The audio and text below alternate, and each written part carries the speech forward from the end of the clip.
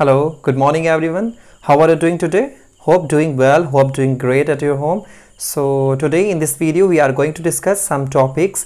Uh, we will have some topics like uh, we have to discuss about outbreeding devices. We have to discuss about uh, pollen pistil interaction. We have to study about uh, emasculation and later we will have a bagging what is bagging okay so these four or five topics we have to study in this whole video uh, just we will go through the not uh, in this video we are not going to line by line explanation. Just I will uh, read the topic name uh, what is what will be the topic name like that is uh, outbreeding devices. So we will discuss only the uh, only the overview of the topic. What will be uh, what is the meaning of output uh, outbreeding devices? What is the meaning of emasculation? How uh, does he or she can do emasculation or bagging so we have to study these only but only a brief note only a brief explanation we will have in this session so let's get started with the first topic that is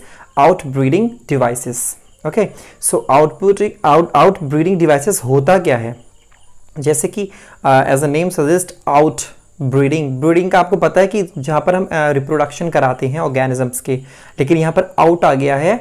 आपने एक word use किया होगा। You heard about inbreeding processes inbreeding process जो होती हैं तो वहाँ पे इन uh, ब्रीडिंग का मतलब होता है कि सेल्फ पॉलिनेशन सेल्फ फर्टिलाइजेशन हम वहाँ पर कराते हैं प्लांट्स uh, का।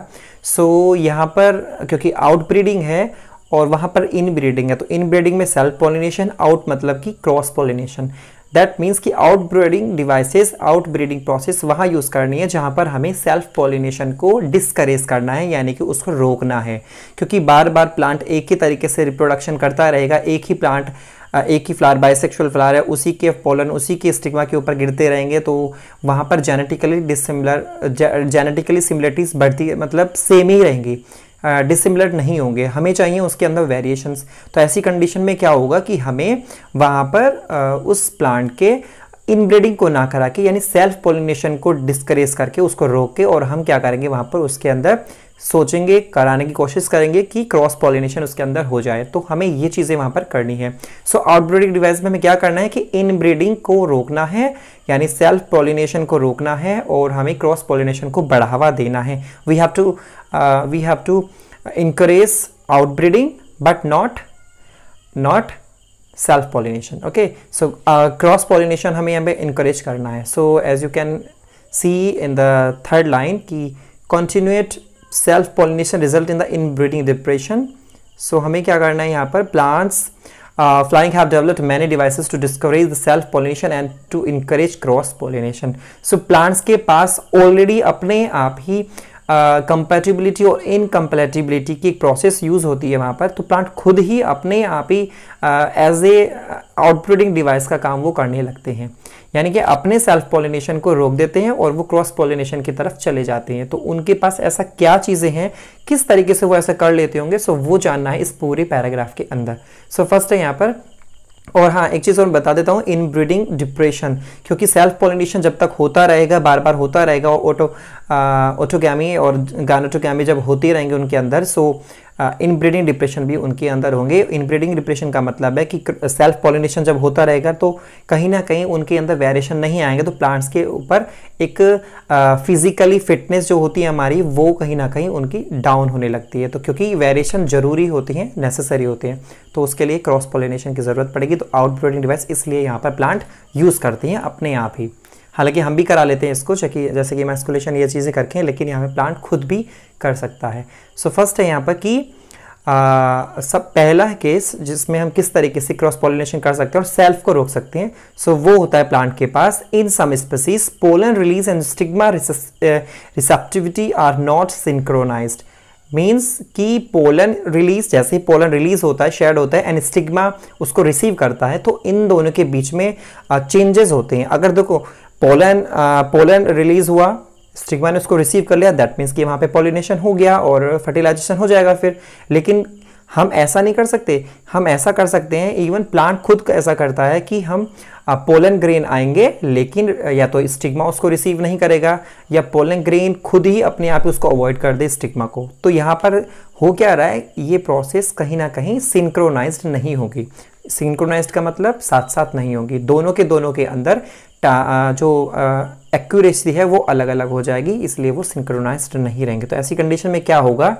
हो सकता है कि, क्योंकि पोलन रिलीज़ और स्टिग्मा रिसेप्टिविटी वो वो सिंक्रोनाइज नहीं है तो ऐसी कंडीशन में इधर the pollen is release before the stigma becomes receptive और stigma become receptive much more before the pollen release of release of pollen यानी हो सकता है कि पोलन जब रिलीज़ होता है स्टिग्मा के रिसेप्टिव होने से पहले या तो ये हो सकता है कि जैसे वो रिलीज़ होता है पोलन या हो सकता है कि स्टिग्मा पहले ही रिसेप्टिव हो जाए पोलन के आने से पहले ही। तो दोनों ही केस में पोलिनेशन नहीं होगा। एक तरफ़ पोलन पहले कर रहा है काम तो दूसरी तरफ़ स्टिग्मा पहले काम कर रही है। यानी दोनों एक्चुअल टाइम पर नहीं कर रहे, जब वो होना चाहिए। तो ऐसी कंडीशन में क्या होगा? सेल्फ पोलिनेशन यहाँ पर हो जाएगा डिस्करेज अवॉइड हो जाएगा सेल्फ पोलिनेशन नहीं होगा। तो एक केस तो हो गया है ये। इसको हम बोलते हैं डाइकोगैमी डाइकोगैमिंग क्योंकि यहाँ पर सिंक्रोनाइज्ड वे नहीं होता, ना ही पोलन ग्रीन रिलीज़ का और ना ही रिसेप्टिविटी ऑफ़ स्टिग्मा का। तो ऐसी कंडीशन में इसको हम बोलते हैं डाइकोगैमी आउटब्रीडिंग डिवाइस फिर आता है सेकेंड केस जो कि है Uh, in some other species, the anther and the stigma are placed at the different positions so that the pollen cannot come into the with, uh, with the stigma of same flower. यानी कि देखो, दोनों की जो position होंगी stigma की या pollen grains की जो एंथर होते हैं उनकी तो ऐसी कंडीशन में क्या होगा, जब दोनों की पोजीशन अलग होंगी कि मान लीजिए स्टिग्मा नीचे है हाइट छोटी रह गई है और पोलन यानी एंथर की ऊँची हाइट रह गई तो ऐसी कंडीशन में क्या हो रहा है, यहाँ पर दोनों की जो जो स्टिग्मा होगा, हो सकता है स्टिग्मा ज़्यादा ऊपर चला जाए पोलेंस नीचे की साइड ही हो, छोटे रह जाए तो ऐसी कंडीशन में क्या हो रहा है कि उनकी जो पोजीशंस हैं, वो यहाँ पर चेंजेस हो रहे हैं। उसकी वजह से वहाँ पर पॉलिनेशन नहीं होगा। सेल्फ पॉलिनेशन नहीं होगा। यहाँ पर स्टिग्मा को दूसरे पॉलेंस की ज़रूरत पड़ेगी क्योंकि पॉलेंस जो थे वो नीचे ही रह गए। स्टिग्मा ऊपर निकल गया तो ऐसी कंडीशन में कैसे आएँ? तो हालाँकि हो तो इनमें भी ज़्यादा, लेकिन कहीं ना कहीं ये क्रॉस पॉलिनेशन को बढ़ावा दे रहे हैं इंक्रीज कर रहे हैं। तो इसको हम बोलते हैं हेट्रोस्टाइली जैसे अभी ऊपर डाइको क्या में देखा तो दूसरी डिवाइस कौन सी है हमारी? हेट्रोस्टाइली हेट्रोस्टाइली का मतलब डिफरेंट डिफरेंट स्टाइल जो देखने को मिलते हैं। स्टाइल आपको पता है कहाँ होता है? फीमेल ऑर्गन है सो so, दोनों की पोजीशंस अलग होती हैं एंथर की भी और स्टाइल की भी तो वहाँ पर नहीं होगा। फिर आते हैं both this device prevent autogamy ये तो हमें पता ही है गाइटोनोगोमी और ऑटोगैमी ये इनको रोकते हैं कहीं ना कहीं। The third device that is preventing inbreeding self incompatibility यहाँ पर सेल्फ इनकम्पेटिबिलिटी हम इसको यूज़ कर रहे हैं क्योंकि इनकम्पेटिबिलिटी याद रखना। क्योंकि यहाँ पर सेल्फ इसलिए यूज़ किया क्योंकि जेनेटिकली मैकेनिज्म इनके पास होगा ऑलरेडी पोलन के पास होगा और कहीं ना कहीं स्टील के पिस्टिल के पास भी एक सेल्फ इनकम्पेटिबिलिटी का एक काम होगा। वो कर सकता है अपने आप ही कि वो पोलन ट्यूब को रोक दे, उसको प्रिवेंट कर दे, उसकी जर्मिनेशन को ही रोक दे pistil okay so from fertilizing the ovule by inhibiting the pollen germination of pollen tube growth in the pistil. कहीं ना कहीं अगर ऐसा मैकेनिज्म प्लांट के पास हो जाए पिस्टिल के पास हो जाए कि वो पोलन ट्यूब की ही जर्मेशन को रोक दे तो ऐसी कंडीशन में पोलिनेशन सॉरी फर्टिलाइजेशन रुक जाएगा। ओके okay, ओव्यूल के साथ फर्टिलाइजेशन नहीं होगा तो ऐसी केस में क्या होगा? सेल्फ पोलिनेशन कहीं ना कहीं रुक गया है। उसको डिस्करेज कर दिया। तो एक कंडीशन ये भी यहाँ पर होगी जिसको हम बोलते हैं सेल्फ इनकम्पेटिबिलिटी तो हमने तीन देख लिए हैं dichogamy second heterostyly and third self incompatibility फिर आता है हमारा कि if both plant and female flowers are present on the same plant such as castor and maize it prevents autogamy but not geitonogamy देखो, आपको पता है, अगर एक ही प्लांट के ऊपर दोनों फ्लावर्स हैं, दोनों मेल और फीमेल यानी बाइसेक्सुअल फ्लावर है तो ऐसी कंडीशन में क्या होता है, जिसको मोनोसियस भी बोल रहे हैं, कि जिसमें दोनों ही प्लांट दोनों ही फ्लावर्स होते हैं। सो so, ऐसी कंडीशन में हम ऑटोगैमी भले से ही रोक सकते हैं लेकिन गाइटोनोगामी हम नहीं रोक सकते क्योंकि एक ही प्लांट पर दोनों तरह के फ्लावर हैं एक तरफ़ मेल एक तरफ़ फीमेल प्लांट एक ही है। तो ऐसी कंडीशन में क्या होगा? ऑटोगैमी तो रुक सकती है लेकिन दूसरा जो मेल है वो फीमेल वाले पोर्शन यानी गाइटोनोगामी वो कर सकता है। तो उसको रोकने के लिए ऐसी कंडीशन में हमारे पास सेल्फ पोलिनेशन किस तरीके से रुक सकता है? फिर उसके लिए हम चाहिए जैसे पपाया प्लांट होता है वो होते हैं यानी पपाया का एक प्लांट होता है फीमेल एक होता है मेल तो ऐसी कंडीशन में क्या हो रहा है? दोनों प्लांट्स अलग अलग हैं. फीमेल वाला अलग है मेल वाला अलग है. ओके सो इसको हम बोलते हैं डायोसी तो इस कंडीशन में क्या होगा? कहीं ना कहीं सेल्फ पोलिनेशन रुक जाएगा. तो इसको हम डायोसी बोलते हैं. तो चार चीज़ें हमने आउटब्रीडिंग डिवाइस में पढ़ लिया है. नेक्स्ट आता है आपका पोलन पिस्टल इंट्रैक्शन और एज अ नेम सजेस्ट कि पोलन पिस्टिल का इंट्रैक्शन होने वाला है। आपको भी पता है कि पिस्टिल है पिस्टिल दैट मीन्स कि उसके पास स्टिग्मा है स्टिग्मा है तो उसके पास पोलन ग्रेन्स आएँगे and then stigma receptivity show करेगा, उसको रिसीव करेगा पोलन को जर्मिनेट कराएगा जर्मिनेट होने के बाद पोलन ट्यूब बनेगी एंड देन पोलन ट्यूब सीधा एंटर करती है थ्रू द माइक्रोपाइलर रीजन और जाती है सीधा किसके अंदर? ओव्यूल के इनसाइड एंड देन वहाँ पर फिर फर्टिलाइजेशन यानी कि एग के साथ and pollen sorry pollen nuclei जो होते हैं, उनके साथ रिप्रोडक्शन होता है, वहाँ पर फर्टिलाइजेशन होता है। तो वो पोलन पिस्टिल इंट्रक्शन के अंदर हमें ये चीज़ें सारी देखनी है। तो मैं आपको बता देता हूँ कि कहीं ना कहीं यहाँ पर एक ओवरव्यू आपको बता पूरे पैराग्राफ में लाइन टू लाइन नहीं जा रहे हैं कि पोलन ऑफ़ रॉन्ग टाइप इधर फ्रॉम द स्पेसीज और from the same plant if it is self incompatible also land on the stigma मतलब स्टिग्मा के ऊपर हर तरीके के पोलन आकर गिरेंगे अब चाहे वो कंपेटिबल हो या ना हो ओके सो सही टाइप के भी आएँगे और रॉन्ग टाइप के भी पोलन आएँगे। तो वो डिसाइड करना होता है कि कौन डिसाइड करेगा? स्टिग्मा को डिसाइड uh, करना होता है कि किस तरीके से यानी पिस्टिल को डिसाइड करना होता है कि हमें uh, करना है फर्टिलाइजेशन या नहीं करना है। तो whether if it is the right type compatible जिसको हम बोलते हैं, अगर सही तरीके है तो कंपेटिबल नहीं सही है, तरीके रॉन्ग टाइप के पोलन आए हैं तो incompatible so if it it is the right type the pistil accept accept कर लेगा. पिस्टिल अगर सही तरीके के आ रहे हैं and promotes promotes post pollination events pollination के बाद के जो इवेंट्स हैं, यानी फर्टिलाइजेशन वाले और सीड सर्मिशन वाले, उनको वो प्रमोट करेगी. Okay okay? पिस्टिल अगर नहीं आते हैं वो तो उसको अवॉइड कर देती है. जैसे कि आपको पता है कि पिक्चर में शो हो रहा है कि longitudinal section of flower showing growth of pollen tube pollen tube यहाँ से निकल कर आ रही है एंड देन वो साइनरिज के थ्रू सीधा एंटर कर जाती है एम्ब्रोसेक के अंदर ओके सो ये है। फिर हम बात कर रहे थे पैराग्राफ की ये एक पिक्चर है पूरी। मेल गैमिट्स इसमें दिखा रखे हैं और यहाँ पर दूसरा पिक्चर है इसमें साइनर्जिट और एक्सेल ये चीज़ें दिखा रखी हैं।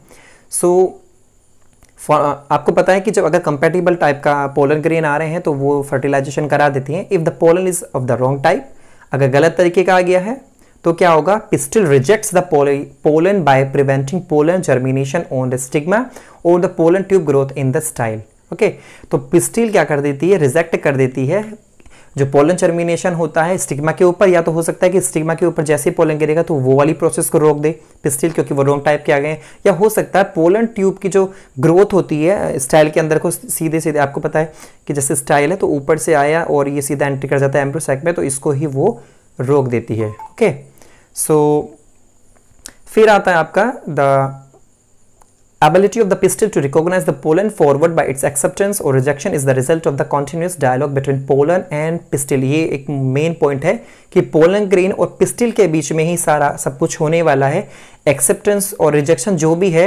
वो एक जो डायलॉग का यहाँ पे यूज़ किया गया डायलॉग का मतलब एक कॉन्वर्जेशन चल रहा है पोलन के बीच में और पिस्टिल के बीच में कि हमें यहाँ पर पोलिनेशन करना है या नहीं करना है। तो ये सब कुछ जो एक कॉन्वर्जेशन चल रहा है पोलन ग्रेन के बीच में, पिस्टिल के बीच में, कि हमें एक्सेप्ट करना है या रिजेक्ट करना है इस प्रोसेस को।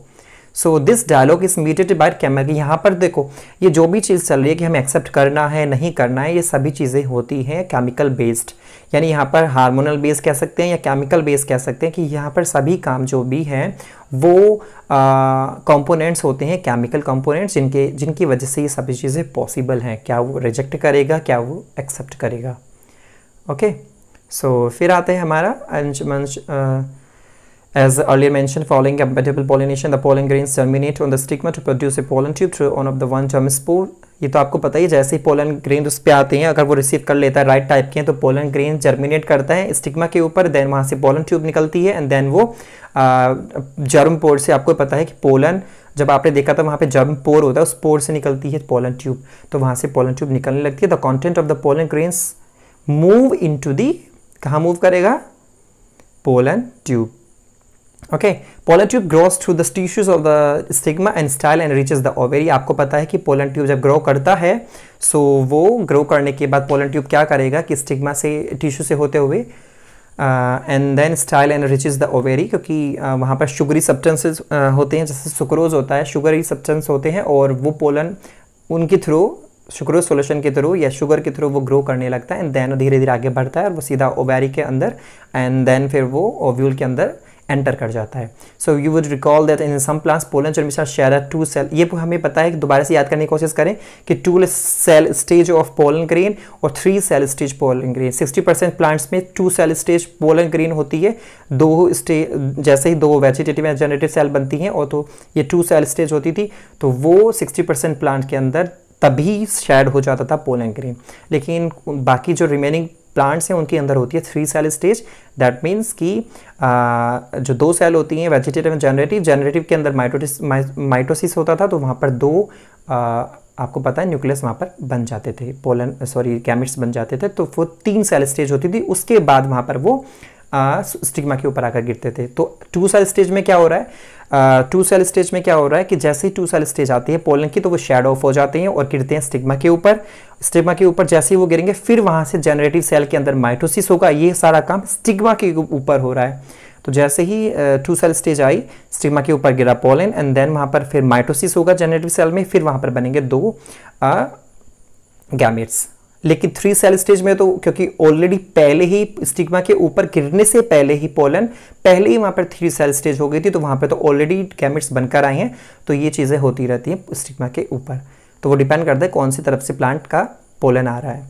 So three cell stage pollen tubes carrier two male gametes from the beginning pollen tube reaches ये ये जो लाइन है pollen tube after reaching to ovary enters the ovule through the micropyle and then and of the synergid through the filiform apparatus आपको पता है कि अभी मैं आपको पिक्चर में ही दिखा देता हूँ कि जो एक beautiful picture you have in your an देखिए ये जो एक पिक्चर है तो इसमें क्या हो रहा है कि पोलन ट्यूब जैसे ही ये, आ, ये दिख रही है आपको एक मैं कलर चेंज कर लेता हूँ। सो so, ये है पोलन ट्यूब, एंटर कर रही है, यहाँ पर एंट्री हो चुकी है। देखो, एम्ब्रोसैक के अंदर एम्ब्रोसैक के अंदर कौन सा रीजन है? माइक्रोपाइलर रीजन माइक्रोपाइलर रीजन के जस्ट एंट्री जैसे ही पोलन ट्यूब एंट्री करती है, वहाँ पर मिलते हैं उसको filiform apparatus. Filiform apparatus just synergid से अटैच्ड होता है और जैसे ही फिलीफोम एपरेटस हेल्प करता है साइनर्जिट्स के पास पहुँचाने में पोलन ट्यूब की पोलन ट्यूब की हेल्प कर रहा है फिलीफोम एपरेटस एंड देन वो एंट्री कर जाती है साइनर्जिट्स वाली सेल में। हो सकता है कोई सी भी एक साइनर्जिट में वो एंट्री करती है। ज़रूरी है कि, क्योंकि आपको पता है दो साइनर्जी होती है, एक इधर एक इधर, और यहाँ पर लगा होता है एग तो हो सकता है इससे एंट्री करे या इससे एंट्री करे। तो यहाँ से पोलन ट्यूब जब एंट्री करता है तो हमारा इन साइनर्जिट से होता हुआ मेल गैमिट क्योंकि दो मेल गैमिट है, दोनों कोई सी साइनर्जिट से वो एंट्री कर सकता है, और एंट्री करने के बाद कहाँ जाएगा? एक तो जाएगा, क्योंकि दो मेल गैमिट आ रहे हैं, एक जाएगा एक्सेल के पास और एक जाएगा पोलर न्यूक्लियाई के पास। तो ये हम डबल से फर्टिलाइजेशन आगे पढ़ने वाले हैं इस सेशन में नेक्स्ट सेशन में। बट मैं आपको बता देता हूँ कि दो मेल गैमेट है, एक जाता है साइनेट से होता हुआ एक्सेल के पास और एक जाता है पोलर पोलर न्यूक्लियाई जो दो बीच में थे सेंटर में। ठीक है? तो एक्सेल से आपको पता है फर्टिलाइजेशन हो जाएगा जायगोट एम्प्रो बन जाएगा और पोलर न्यूक्लियाई के साथ जो करेगा तो वहाँ पर दो तो पोलर न्यूक्लियाई हैं। ओके दो पोलर न्यूक्लियाई हैं, आपको पता है? और जिसमें से एक हमारा आया है मेल गैमिट पोलन ट्यूब से होता हुआ ये तीनों की तीनों एक साथ फर्टिलाइजेशन कर लेंगे तो इसको हम बोलते हैं ट्रिपल फ्यूजन क्योंकि यहाँ पे थ्री सेल यूज़ हो रही है थ्री न्यूक्लियस यूज़ हो रहे हैं या गैमिट्स यूज़ हो रहे हैं रिप्रोडक्शन के लिए तो इसको हम बोलते हैं three cell sorry triple fusion okay और डबल फर्टिलाइजेशन इसलिए क्योंकि यहाँ पर दो तरीके से रिप्रोडक्शन हो रहा है एक तो एक्सेल का और एक पोलर न्यूक्लियाई का। सो so, आपने देख लिया कि यहाँ पे किस तरीके से रिप्रोडक्शन हुआ यानी कि एंट्रीपोलन की और पिस्टिल की किस तरीके से इंट्रैक्शन हुआ और फिर किस तरीके से आगे वो पहुँच गया। तो यहाँ पर ये हमने देख लिया the knowledge gain in the area we have the breeder in the manipulating pollen pistil interaction even the incompatible pollination to get desire habit तो यहाँ पर क्या होता है? इन ब्रीडर्स का मतलब क्या है? इन ब्रीडर देख लीजिए यहाँ पर uh, एक पॉइंट आया है। In plant breeder in manipulating pollen कि जो जैसे कि मैं हूँ मान लीजिए मैं प्लांट के अंदर प्रोडक्शन को ये कराना चाह रहा हूँ कि सेल्फ पोलिनेशन रोक है क्रॉस पोलिनेशन मुझे कराना है डिजायरेबल कैरेक्टर लेने। मैं चाहता हूँ कि मेरा जो फ्लावर हो मेरी जो जनरेशन आए फ्लावर की वो वेरिएशन लेकर आए और वो डिज़ायरेबल वेरिएशन लेकर आए अच्छे जो मुझे चाहिए थे। सो so, उसके लिए हम प्लांट ब्रीडर जो होते हैं वो यहाँ पर टेक्निक्स को यूज़ करते हैं तो वो हम देख लेते हैं। बाय द वे अगर आपको क्योंकि एक प्रैक्टिकल भी आपका कि किस तरीके से आपको पोलन ट्यूब की जर्मिनेशन देखनी है तो उसके लिए यहाँ पे एक प्रैक्टिकल लिखा हुआ है इस पैराग्राफ के अंदर कि हमें एक सुक्रोज सॉल्यूशन का 10 परसेंट सोल्यूशन शुगर सॉल्यूशन बनाना है और किसी भी प्लांट के चिकपी हो सकता है पी प्लांट हो सकता है बालसम हो सकता है विंका रोज है जिसको हम सदा बाहर बोलते हैं, इन प्लांट्स के किसी के भी हम वहाँ पर पोलन ले सकते हैं, उनको धीरे से उसके ऊपर पैटी डिश या जो भी आपके पास है, उसके ऊपर डालेंगे और वहाँ से वो निकल जाएँगे और उसको शुगर सॉल्यूशन दे देंगे और देन 15 से 30 मिनट के बाद वहाँ पर पोलन ट्यूब बन जाती है। तो ये आपका प्रैक्टिकल भी है जो कि कराया जाता है। फिर आते हैं यहाँ पर प्लांट ब्रीडर जो टेक्निक यूज़ करते हैं, क्योंकि उनको डिज़ायरेबल कैरेक्टर्स चाहिए तो यहाँ पर वो करते हैं artificial hybridization sorry hybridization artificial तरीके से क्योंकि हम करा रहे हैं। नेचुरल तो प्लांट का खुद होता है, लेकिन हमें आर्टिफिशियल कराना पड़ रहा है क्योंकि हमें डिज़ायरेबल कैरेक्टर चाहिए, क्योंकि हमें सुपीरियर वेराइटीज़ चाहिए। तो ऐसी कंडीशन में हमें कराना पड़ता है आर्टिफिशियल हाइब्राडाइजेशन तो ये होता क्या है? It is a major approach of crop improvement programme क्योंकि हमें इंप्रूव करनी है क्रॉप वेराइटीज़ इंप्रूव करनी है डिज़ायरेबल कैरेक्टर चाहिए तो हमें करना पड़ेगा। यहाँ पे एक आर्टिफिशियल तरीके से फर्टिलाइजेशन हमें यहाँ पे कराना है। क्योंकि हमें हाइब्रिड फैसिलिटीज़ हाइब्रिड क्रॉप्स लेनी है। सो so, ये तो हम आपने नाइन्थ में पढ़ा आपको पता है हाइब्रिड क्या होता है हाइब्रिडाइजेशन क्या होता है। सो डिज़ायरेबल कैरेक्टर मिल गए हैं। लेकिन यहाँ पर हमें करना क्या है क्योंकि हमें ऐसे पोलन चाहिए जो कि अच्छे कैरेक्टर वाले हों तो वो हम इकट्ठा कर लेते हैं। लेकिन ये किस तरीके से हमें कराना है तो यहाँ पर इस आर्टिफिशियल हाइब्रिडाइजेशन को हम टू टेक्निक्स यहाँ पर यूज़ करते हैं। एक तो इमेस्कुलेशन और एक होता है बैगिंग हालाँकि री बैगिंग भी होता है, लेकिन हमें सिर्फ़ बैगिंग के अंदर ही पढ़ना है। इमेस्कुलेशन एंड बैगिंग ये होता क्या है? तो पहले हम देख लेते हैं emasculation so if plant parent bear bisexual flowers देखिए दो तरीके के आपको पता है यूनिसेक्सुअल बाइसेक्सुअल बाइसेक्सुअल में दोनों तरीके के मेल और फीमेल दोनों होते हैं।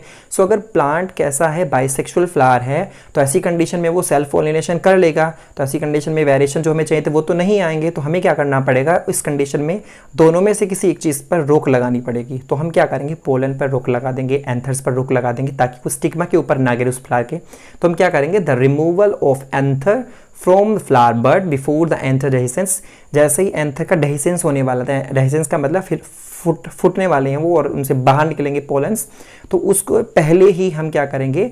एंथर को वहाँ से रिमूव कर देंगे ओके और फोर्सेप की मदद से उसको फोर्सेप चिमटे की मदद से उसको अलग कर देंगे। इस प्रोसेस को हम बोलते हैं इमेस्कुलेशन ये था बाइसेक्सुअल फ्लावर क्योंकि दोनों एक ही फ्लावर के अंदर हैं दोनों मेल और फीमेल सो so, फिर क्या हुआ? ये जो फ्लावर हुआ इमेस्कुलेट किया हमने तो उसको हम बोलते हैं इमेस्कुलेटेड फ्लावर जिसके हटा दिए anthers have to be covered with bag of suitable size polythene या जो भी बैग है, वो या बटर पेपर हम वहाँ पर ले लेते हैं तो उससे उसको हम बैक कर देते हैं पैक कर देते हैं.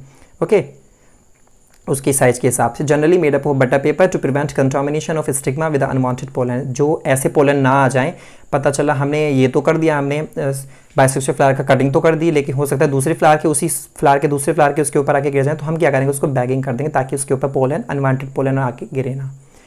ओके okay, सो so इसको हम बोलते हैं बैगिंग इसलिए हमने बैगिंग कर दिया। फिर होता है when the stigma of the bag flower attain receptivity जैसे ही रिसेप्टिविटी वाला मैच्योरिटी वाला जो एक टाइम आता है तो हम क्या करते हैं mature pollen grains collected from the anthers जो हमारे पास डिज़ायरेबल थे, जो प्लांट ब्रीडर ने इकट्ठे किए थे, वो हम वहाँ पर उस पर डाल देते हैं डस्टेड कर देते हैं और वहाँ पर दोबारा से उसको रीबैक्ड कर देते हैं ताकि कोई पोलन और दोबारा से आ ना जाए।